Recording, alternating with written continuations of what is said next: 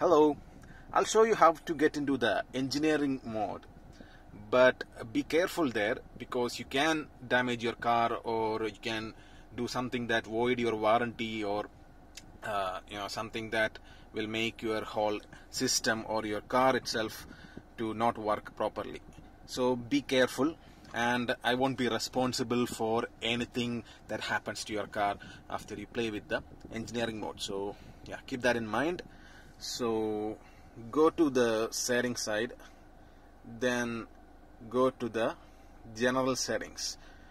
Settings you will find uh, here settings. Or just press the setup then setting general settings then system info then memory. Here tap this place this area once. One then here twice then here once then here once then this. Okay now they're asking for a password. So the password is the current time in 24 hours format. So now it's 722 which means it's uh, 1922 so 1922 1922 okay.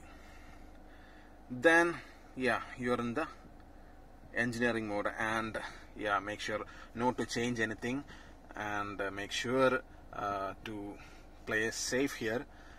So I won't be responsible for anything that you do here. So yeah. Try to find out your system info and all. Yeah here you can find